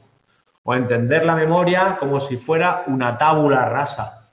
Esas tablillas de cera que con un eh, puntero en la Grecia clásica escribían encima, ¿no? Pues esa fue la primera metáfora que se utilizó para la memoria. Y decía Platón que se dejaba una huella, el conocimiento dejaba una huella, grababa algo en eso. Y luego decía, y con el tiempo ese grabado se iba desvaneciendo, iba decayendo la huella mnésica, el trazo, fuerza del trazo, eso se utiliza como metáfora. Y luego dijo Aristóteles, no, la mente cuando nacemos es una tabla rasa, es una tabla que no, todavía no hemos escrito nada. Pues eso es una metáfora. Y eh, esos son los modelos, quiero decir, son modelos muchas veces basados en metáforas, en analogías, pero siempre aproximaciones. Lo interesante es que tú haces predicciones, tú derivas hipótesis de ese modelo y las sometes al contraste de los datos. Entonces vamos a ver diferentes modelos que se han ido planteando, los modelos de acceso directo, hablaremos del modelo de Logogen, muy importante, eh, muy relevante. Luego haremos de modelos de búsqueda serial, como el de Foster. Hablaremos de modelos mixtos, y ahí será importante el concepto de punto de unicidad. Y luego hablaremos de modelos conexionistas o de redes neuronales, que son los más recientes en el tiempo, bueno, son de los años 60, del siglo pasado, que tampoco es que estamos hablando de modelos clásicos, ¿no? Y vamos a empezar en primer lugar hablando del modelo de Logogen, que fue desarrollado por John Morton. Él empezó a desarrollarlos a finales de los años 60, ¿de acuerdo? ¿Qué es el Logogen? El Logogen es una entidad abstracta, teórica, un constructo que plantea Morton, y sería algo así como que cada palabra está representada en nuestro diccionario mental por un logogen. Un logogen sería un mecanismo, como si fuera un archivo, que lo que hace es recabar información. O sea, tendríamos un logogen para la palabra casa, un logogen para la palabra perro, un logogen para la palabra doctor. Todas las palabras que forman parte de nuestro léxico tendrían su logogen. Y el logogen está ahí esperando recabar información que permita identificar que se ha pronunciado esa palabra. ¿De acuerdo? Sea que tiene, y aquí se representa con esta especie de como de triangulito, ¿vale? De manera que conforme se va recabando información, tanto de estimulación externa, lo que leemos, lo que escuchamos, como de información interna, es decir, efectos top-down de tipo significado, de tipo priming, como hemos visto antes, de que estés en un ambiente hospitalario, pues es más fácil que escuches, interpretes, proceses ciertas palabras que otras, ¿Vale? Lo que ocurre es que toda esa información, tanto de origen externo del ambiente como de origen interno de nuestro sistema cognitivo, de la congruencia semántica o de la congruencia contextual, hace que aumente la activación de ciertos logógenes hasta que se supere cierto umbral. Y en esto, si te das cuenta, aunque de manera todavía muy caricaturesca, hay cierta analogía con la forma en que funciona el sistema nervioso. ¿vale? O sea que ah, ya sabéis que las la neuronas o integran información que reciben de eh, impulsos de otras neuronas hasta que se alcanza cierto umbral y entonces ya lanzan su potencial de acción, ¿no? Ya sabéis esos procesos que habéis estudiado muy bien de eh, despolarización, hiperpolarización, la bomba de sodio-potasio, todo eso, que es muy interesante, pero que ahí no viene al caso. Entonces, pum, si se supera cierto umbral, pues dispara esa neurona, ¿de acuerdo?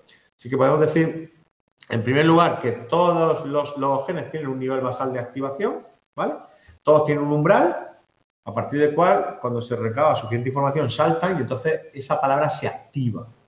Y al activarse ya sabéis que nos viene a la cabeza su significado, su pronunciación, todo eso como ¿Vale? ¿De acuerdo? ¿Queda claro eso? Entonces, aquí tenéis lo que sería el modelo clásico de logogen, cómo estaría representado. Como veis, tenemos un almacén de logogenes, que sería como nuestro léxico mental, nuestro diccionario. Ahí están un logogen por cada uno de las palabras que tenemos. El análisis visual y el auditivo aporta información. Si estamos solamente escuchando algo, pues solo es el auditivo, claro. En este caso, como estáis escuchándome y al mismo tiempo viendo, pues están activando los dos. El sistema cognitivo, esto es interno, se refiere a representaciones semánticas. Si antes se ha activado otra palabra, pues de manera, por propagación de la actividad, se puede activar otra. Ahora veremos cómo se hace. esos efectos contextuales que hemos visto. El caso es que eso hace que algunos de genes se activen más que otros y que finalmente aquellos que se activen, ¡pum!, pues ya accedamos a ellos y que se desplieguen todas sus potencialidades, como antes hemos visto. ¿Vale? Eh, posteriormente, eh, Morton introdujo algunas variaciones en ese modelo, pero primero vamos a ver cómo podríamos explicar algunos fenómenos que hemos explicado, que hemos visto hasta ahora, cómo serían explicados por este modelo, porque es importante, si este modelo se ajusta a los datos de realidad. En primer lugar, ¿por qué hay algunas palabras que son más fáciles de procesar debido a su frecuencia léxica? ¿Cómo explicaría el modelo de los genes la frecuencia léxica? Lo que explicaría es que las palabras que tengan mucha frecuencia, que sean muy usadas, tendrían un umbral más bajo. Con menos activación es más fácil que se active. O sea que si tú estás escuchando ciertas palabras y no se entiende bien lo que dice, es posible que sea más probable que se active palabras con mucha frecuencia que palabras con poca frecuencia. ¿Vale? Si, escuchas algo así como quesa, pues es posible que se active cosa, porque cosa tiene un umbral más bajo. Y aunque no concuerda exactamente con el logogen, porque no se ha escuchado bien el co, el escuchar que, quesa, quesa, es suficiente a lo mejor para que ¡pum! se active cosa y no otras palabras que no tienen tanta frecuencia léxica que también podrían coincidir. ¿vale? Que también tiene, a lo mejor tenemos venido, o sale en la cabeza queso, ¿no? De queso a queso. Pero a lo mejor otras palabras no se me ocurren. Pero bueno, entendéis el ejemplo, ¿no? Entonces, esto es como el modelo explicaría el efecto de frecuencia léxica. Con un umbral más bajo es necesaria menos, es necesaria menos eh, eh, información del, del, entorno auditiva visual para que se active. ¿De acuerdo? ¿Cómo explicaría el, este modelo el priming de repetición? Pues la idea es que cuando se activa una palabra, se supera la activación por encima del umbral. Y conforme va pasando el tiempo, va reduciéndose esa activación hasta que llegue a su nivel basal habitual. Pero si antes de que baje de todo el nivel basal vuelve a presentar la misma palabra, ahora no va a necesitar mmm, la misma activación, con un poquito más salta otra vez porque viene con una actividad residual que mantiene de antes, es lo que se expresa aquí, ¿no? Como veis, salta por encima del umbral, la palabra perro, si vuelvo a presentar perro, la estoy presentando antes de que haya bajado a su nivel basal, de manera que ahora será más sencillo incluso que antes, que la primera vez, el que se supere el umbral. ¿Vale? ¿Ves que es una forma elegante de explicarlo, ¿no? ¿Cómo se puede explicar? Bueno, lo de frecuencia o infrecuencia está explicado aquí, pero es lo mismo que acá, ¿no? ¿Cómo se puede explicar el efecto de priming semántico? Pues cuando se activa un logogen, por ejemplo, hospital, lo que hace es activar, porque está conectado en una red de logogenes. Por eso, recuerda lejanamente a la representación neuronal. Obviamente, en nuestro cerebro no hay una neurona para cada concepto. O sea, no, tendría sentido. Cada concepto estará representado por muchas neuronas. Esto, es muy caricaturesco. Pero bueno, recuerdo un poco esta idea de que tenemos, si se activa el logo gen hospital, pum, salta por encima del umbral, esa activación la transmite a otros conceptos, haciendo que como poco aumente su nivel, a lo mejor hace que se activen por encima del umbral algunas, otras no, pero todas se preactivan. Si a continuación, después de poner hospital, pongo la palabra doctor, pues doctor ya está preactivado más de lo que estaría si no se hubiera presentado al hospital. Entonces, ahora es más rápido el identificarlo porque con poquito, boom, ya salta y lo identifico. Si en cambio en vez de presentar hospital hubiera presentado mermelada, pues no se hubiera activado esa red semántica, se hubiera activado otra red semántica. La red semántica de, los alimentos o, los alimentos de desayuno, como poco, ¿no? Mermelada, mantequilla, yo creo que estarán muy relacionados entre ellos. O sea que es otra forma de explicar ese premio semántico que este modelo explicaría. ¿De acuerdo? Hay un modelo que es intuitivo, es sencillo, pero que es interesante. Bueno, Problemas con los que se encontró el modelo de logogen. Que si dais cuenta al principio, Morton solo planteó un sistema de logogenes en general, sin diferenciar entre si la información era auditiva o si la información era visual. Todo iba a parar al mismo sistema. De manera que esto lo que debería hacernos predecir es que da igual, el efecto de prime, por ejemplo, si la primera palabra que escuchas es oída y la que luego, si el prime es oído y el probe es leído, Da igual que si los dos son leídos o los dos son escuchados. Y eso no se encuentra habitualmente. el priming transmodal o es más débil o es inexistente. Es decir, si escuchas, escuchas la palabra doctor y luego lees enfermera, no funciona igual o puede que de ninguna manera que si las dos palabras son escuchadas o si las dos palabras son leídas. Es decir, que el priming es fuerte en la misma modalidad en la que se está percibiendo el estímulo. Y eso hizo que Morton pues ya le empiece a poner parche al modelo, es muy habitual, ¿no? uno va poniendo parche hasta que llega otro modelo mejor. ¿no? Bueno, lo que hizo Morton es diferenciar entre los genes de tipo visual, un almacén para lo visual, y los genes de tipo auditivo, un almacén para lo auditivo, para explicar esto, de por qué no había esa relación de priming contextual entre los genes de diferentes modalidades. ¿vale? Y más adelante incluso planteó que había los genes para lectura, los genes para la escritura, diferentes, los genes para hablar y los genes para escuchar. Se han encontrado lesiones cerebrales que provocan problemas para leer y no para escribir, problemas para escribir y no para leer, problemas para hablar pero no para escuchar, problemas para escuchar y no para hablar. Y eso ha hecho que se generen disociaciones. Pero bueno, eso no, no es tan importante. Otro modelo. El modelo de búsqueda serial de Foster. Este modelo la metáfora que podéis tener en la cabeza son las antiguas bibliotecas. No sé si eh, recordáis la antigua biblioteca en la que tú acudías a unos ficheros donde había fichas. Los ficheros son conjuntos de fichas. Y tú buscabas ahí por orden alfabético o por autor o por nombre de título hasta que encontrabas una ficha con el libro que querías. Ahí venía ya el código, la asignatura, creo que se llama. Se lo dabas a la bibliotecaria, bibliotecaria y te buscabas el libro. Pues esto es algo parecido.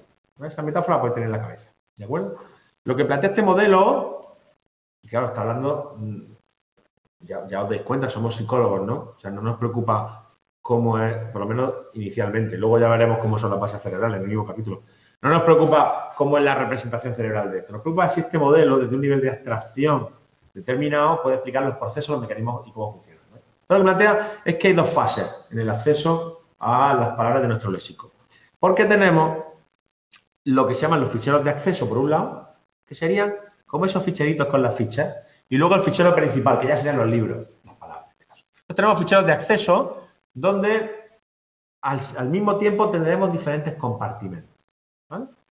Tenemos ficheros de acceso de tipo ortográfico, para lo que leemos, ficheros de acceso de tipo fonológico, para lo que, para lo que escuchamos, y tenemos también ficheros de acceso de tipo semántico sintáctico, para aquellas cosas relacionadas con el significado. La palabra vaca, en el fichero ortográfico sería cómo se escribe, el grafema V, grafema A, grafema C, grafema A. En el fichero de acceso fonológico, los sonidos, los fonemas ba y ka, fonemas expresados con este lenguaje fonético. ¿no?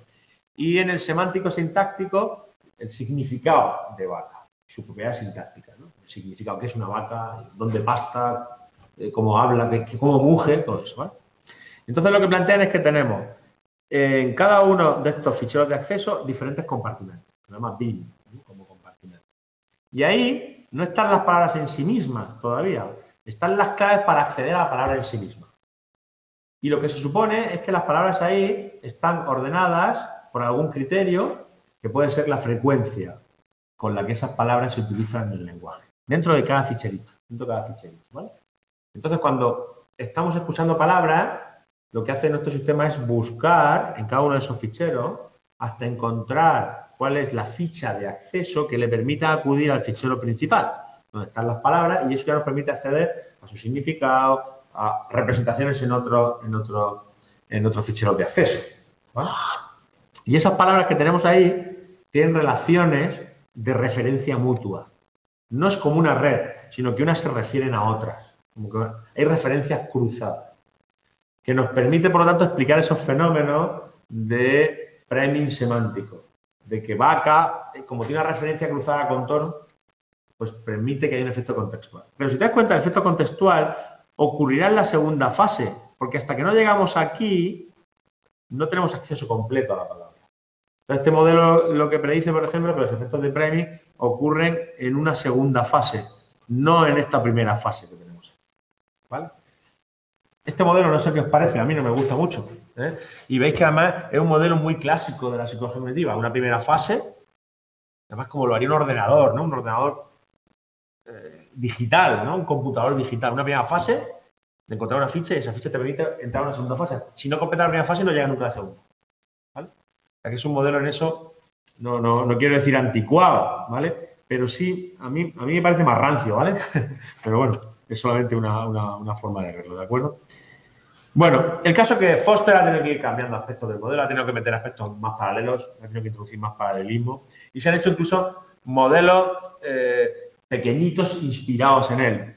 Me hace gracia ¿no? el modelo de Glanser y Ernst que dice que aparte de un diccionario, un léxico eh, para todas las palabras, o, parte de ellas, tenemos como otro pequeño léxico de uso común, como un diccionario pequeñito de esos que antaño llevábamos, no ahora ya no hace falta tenemos móviles, pero ese diccionario de bolsillo que no tiene todas las palabras, pero sí las de más uso.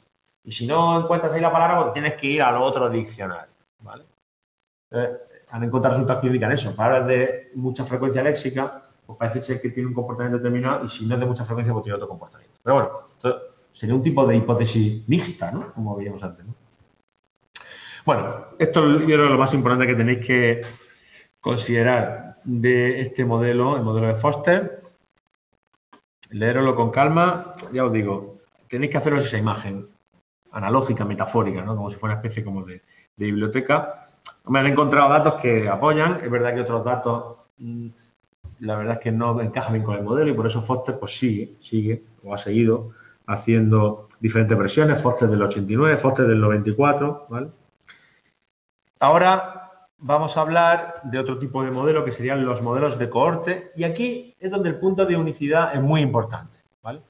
Este modelo de cohorte es un modelo que aúna aspectos de búsqueda eh, directa, porque no lo he dicho antes, pero el modelo de Morton es de acceso directo. Es decir, que accedemos directamente y activamos una representación que conlleva la expresión en diferentes códigos. ¿vale? O sea, que cada eh, palabra está representada con un login y accedemos directamente a él. El modelo de Foster es un modelo secuencial. Hay una primera fase que no supone todavía acceder a la palabra en sí misma, sino algunos de sus eh, indicios, fonológicos, semánticos, y en una segunda fase accedemos ya a la palabra y entonces tardíamente se producen esos efectos de referencia y, de y contextuales. El modelo de corte es un modelo mixto. hay una parte de acceso directo y hay una parte secuencial basada en el punto de unicidad. Lo que plantea es que cuando se pronuncia el primer fonema de una palabra, se activan al mismo tiempo todo un conjunto de candidatos. Es lo que se llama cohorte. Una cohorte es un conjunto, es un grupo, es una generación de todas las palabras que se activan porque concuerdan en su primera expresión fonológica. Aquí además está hablando de fonemas, porque de fonología, mejor dicho, porque veis que esto que tenemos aquí es un registro acústico, ¿no? Es un espectrograma esto, ya sabéis que no, pero bueno, es una expresión acústica de la onda sonora, ¿no? Entonces, cuando pronunciamos el primer fonema E, se activa una cohorte, en paralelo todas se activan los posibles candidatos. Se activa elegido, eje, elefante, que ya veréis que es la, la palabra target en el ejemplo, ¿no? Elogio, ecuador, elástico. Cuando ya se pronuncia el fonema, empieza a pronunciarse el fonema L de Ya hay unas cuantas que se descartan. Pues, por ejemplo, eje ya no, no se activa, se desactiva. Eh, envidia se desactiva, Ecuador se desactiva. Entonces nos quedan elegido, elefante, elogio, elástico, elegante. Como veis, hay una fase secuencial. Cada vez que pronunciamos un fonema, eso es secuencial, pero en cada pronunciación se activan al mismo tiempo, en paralelo, todos los candidatos que están en nuestro léxico. Entonces, cuando decimos L, ya nos quedan solamente una cohorte de tres elementos, elegido, elefante y elegante. Y cuando decimos ya la F, ya hemos llegado al punto de unicidad, bueno, quería marcar aquí, aquí ¿vale? El punto de unicidad en el que ya solo hay una cohorte n igual a 1 y ya no hay ambigüedad y ya se desactivan todas las que las dos que nos quedaban, que sabemos que no concuerdan, y solo se activa una.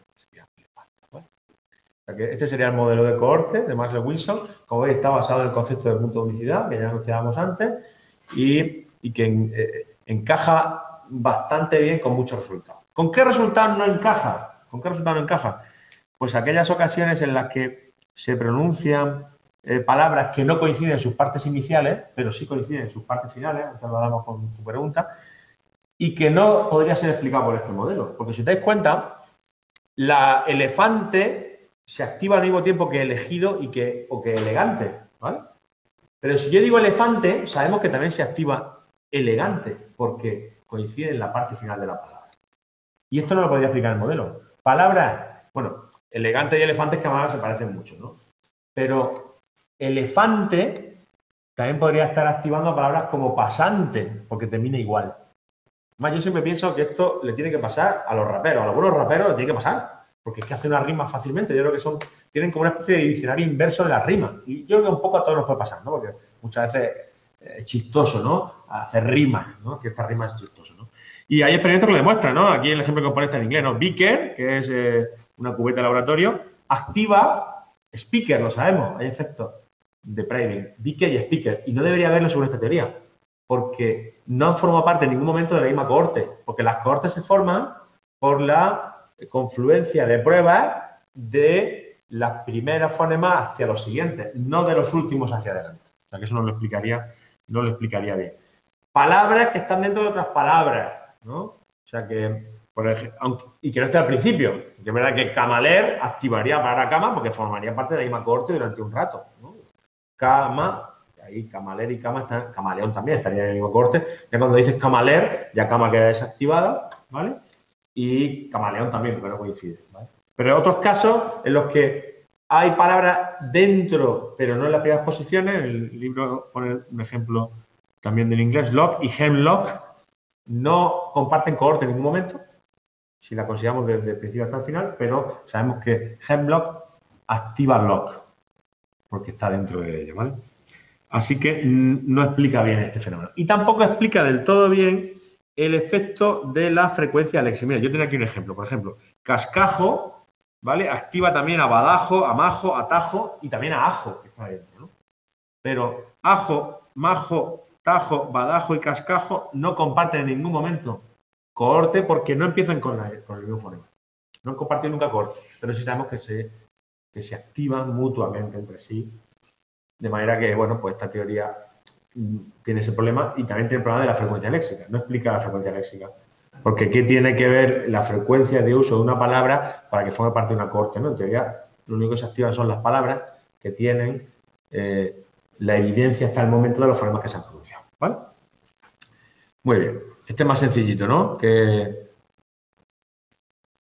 Ah, bueno, no, no os he explicado lo de las tareas que se suelen utilizar eh, o los, eh, las tareas que se han utilizado para encontrar evidencia de este modelo, ¿no? Y es que, por un lado, están las tareas de seguimiento o shadowing, esto también lo habéis visto en psicología de la atención. Se te presenta un mensaje por los auriculares y lo que tienes que hacer es repetirlo al mismo tiempo que lo estás escuchando. Eso se llama shadowing o seguimiento, como sombreando el mensaje, lo escuchas y al mismo tiempo lo vas repitiendo. Entonces, lo que encontraron es que los participantes eh, repetían las palabras con tiempo de reacción muy corto. O sea, que eran capaces de decir la palabra incluso antes de que terminara. En cuanto alcanzas el punto de unicidad, no tienes que esperar a que se escuche la palabra completo. Ya eras capaz de predecir la palabra que estás escuchando. Eso es verdad. Eso es verdad. O sea que eh, ya cuando escuchas el no tienes que escuchar más. Ya sabes que es elefante. Somos capaces de completar las palabras. Igual que somos capaces de completar las frases. ¿Por qué? Pues porque ya no quedan, no hay más candidatos. Ya hemos llegado al punto de unicidad. Eso es verdad. ¿vale? Y luego, en las tareas de corrección de errores, que es una tarea similar a la del sombreado, porque tienes que repetir las palabras, pero lo que se te dice es que algunas palabras pueden contener algún error en el fonema y tú tienes que intentar pronunciarlas de la forma que sea más coherente con lo que estás escuchando. Fui al teatro a disfrutar de una tragedia griega. Bueno, pues ahí lo que el sujeto tendría que repetir sería tragedia. Es decir, la palabra que más se asemeje por el contexto y por los fonemas que tiene a la que se ha presentado. Y entonces lo que se encontraba es que esos errores se, corregían mejor cuando el error aparecía en la primera sílaba. Como que ya eras capaz con ese error de poder, gracias al punto de unicidad, saber qué palabra era. Si era más tardío, te daba más tiempo de intercatarte. Esos datos eran favorables a que algún tipo de uso del punto de unicidad hacemos. Pero no parece que sea un factor que explique el resto de fenómenos, porque hemos visto que a veces la presencia de otra palabra o la presencia de semejanza en la parte final hace que también se active esa palabra. Y por último, el modelo que tenemos que presentar dentro de los modelos cognitivos es el modelo TRACE, que no trance, ¿no? que recuerdo que el año pasado bromeamos, no, trance. El modelo trace es un modelo de tipo conexionista. En los años 80 sabéis que eh, se... Bueno, desde el inicio de la psicología cognitiva y el inicio del estudio o de la investigación en inteligencia artificial convivieron los modelos simbólicos y los modelos conexionistas. Pero durante varias décadas eh, predominaron los modelos de tipo simbólico. Pero en los años 80 se recuperan los modelos conexionistas. Los modelos conexionistas son neuromórficos, es decir, eh, se basan, se inspiran en una versión muy caricaturesca de nuestro sistema nervioso. Aquí podéis ver que hay una especie como de red neuronal de nodos que están conectados entre sí. Tenemos una capa de nodos que serían rasgos acústicos, otra capa de nodos que serían rasgos fonéticos, ¿vale? Y luego una capa donde estarían las palabras. Esto sería pues, parecido al léxico y parecido a esos logogenes que veíamos, ¿vale? Y hay conexiones inhibitorias y excitatorias entre los elementos. Habitualmente, dentro de una misma capa hay conexiones inhibitorias, es decir, que si se activa un sonido, eso hace que se inhiban los demás. Si se activa un fonema, eso hace que se inhiban los demás. Y entre las capas, la activación suele ser, de capa a capa, suele ser excitatoria. Es decir, que si se activa el fonema M, pues eso va a hacer que se envíe activación a el nodo mano y a otros que empiecen por la M, ¿no? Cuando se activa mano, ¿eh? lo que hace es enviar inhibición a otras palabras de alrededor. Se activa mano, pues envía inhibición a cosas. Lo interesante de esto es que aquí lo que hay es una activación que ocurre de manera interactiva. Es decir, que las tres capas pueden estar activas al mismo tiempo, de manera que la capa de palabras puede afectar, puede influir en un fenómeno top-down a las otras capas. O sea que esto es lo que puede provocar que si hay una activación semántica relacionada con partes del cuerpo, pues mano, que esté preactivada y eso determine y sesgue la activación de los otros nodos. Esto se parecería más a una activación de tipo procesamiento distribuido en paralelo. No hay un archivo con cosas, hay diferentes nodos en la que está repartida la activación y con las evidencias que vamos recibiendo del estímulo auditivo y el estado previo en el que se encuentra el sistema, de lo que ha escuchado, de lo que esté hablando, lo que esté activado, lo que no esté activado previamente, se determina una solución que está basada en un sistema en el que no hay fases secuenciales bien definidas, que se parece más a cómo funcionaría nuestro sistema nervioso y que puede dar lugar a un resultado eh, de carácter interactivo en el que podemos explicar muy bien cómo de los bottom pasamos a los top-down. Porque incluso, imaginaos, un sistema eh, que esté virgen, que todavía no tenga ningún tipo de preactivación. En el momento en que se activan los rasgos, eso ya envía activación a los fonemas, ¿eh? Y de los fonemas a las palabras, y hay momentos en que las tres cosas están activas al mismo tiempo. Y eso hace que la activación de niveles superiores pueda acercar a los niveles inferiores. Lo que hace se llama procesamiento en cascada.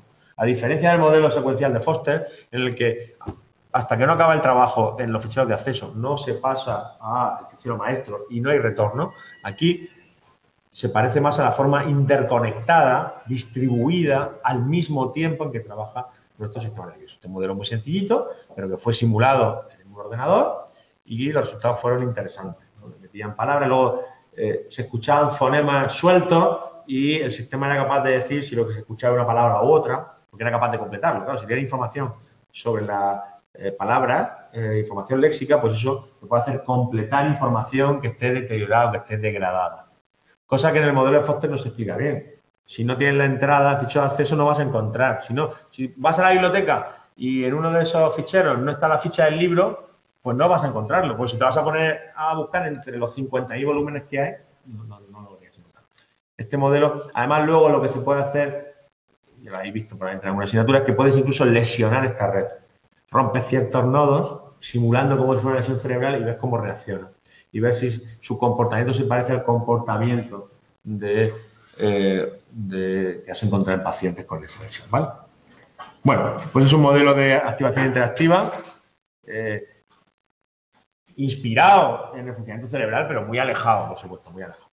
Hoy en día, cuando se habla de, de Deep Learning, lo había escuchado, Machine Learning, me parece una nueva revolución, en realidad están trabajando con esto mismo, Solo que ahora ya le meten miles, cientos de miles o millones de nodos y le meten un montón de capas. Por eso llama deep, porque que es más profundo, ¿vale? Das cuenta que tradicionalmente el primer modelo que se hizo, neuromórfico, el primer modelo conexionista, es de los años 60, el que se llamó el perceptrón de Rosenblatt. Y tenía una sola capa, era una sola neurona, que recogía información de varias fuentes, de varios estímulos. Eso demostró que está muy limitado. El siguiente paso fue lo que ocurrió en los años 80, que introdujeron una capa oculta. Entre el input y el output, una capa entre. Y otra revolución importante que es de, ya del siglo XXI el, este tema del deep learning. Que le metes, como ya tienes ordenadores muy potentes y tienes muchos datos en Internet para alimentar la red, porque esta red al fin y al cabo funciona si le metes muchos datos. Entonces le metes un montón de capas y le metes millones de nodos. Pones ahí a trabajar, aunque sea varios días, y entonces pues son redes que cada vez aprenden mejor. ¿vale? Y son capaces de lograr cosas que antes eran muy complicadas, como reconocimiento de imágenes, reconocimiento de lenguaje, traducción, van mejorando Con sus limitaciones, en mi opinión. Bueno, de esto estuvimos hablando la semana pasada, la semana de la ciencia, os envié, creo, ¿no? un poco de publicidad sobre, sobre esa charla de esos últimos Y por último, el capítulo termina hablando de las bases neurológicas del reconocimiento y de la producción oral de palabras, ¿vale? A ver si me da tiempo en estos dos minutos. No me va a dar tiempo, pero bueno. Bueno, pues como no me da tiempo, mejor lo dejo aquí. Recordad que estábamos hablando de cómo reconocemos oralmente las palabras que escuchamos y que otros han pronunciado, nuestras propias palabras que nosotros pronunciamos también. Y estábamos, después de ver unas cuantas teorías, vamos a hablar ahora de las bases neurofisiológicas. ¿De acuerdo? Mirad, recordáis seguro de la asignatura de psicología de la percepción, también lo veis, me consta, en psicología fisiológica, que en el sistema perceptivo visual se habla de dos diferentes subsistemas, dos diferentes vías relativamente disociadas. La vía ventral, también llamada vía del qué, y la vía dorsal, también llamada vía del cómo. Recordáis que la vía ventral es lo que tradicionalmente hemos llamado eh, percepción visual, es decir, percibir el mundo para identificar las cosas, reconocerlas, entender las escenas visuales, recordarlas y luego poder imaginarlas. Lo que siempre hemos entendido por visión. Pero hay otro sistema que es el sistema dorsal, que es lo que se llama la visión para la acción. Se refiere cómo percibimos las cosas para surtir de materia prima visual al comportamiento motor que está en curso en cada momento.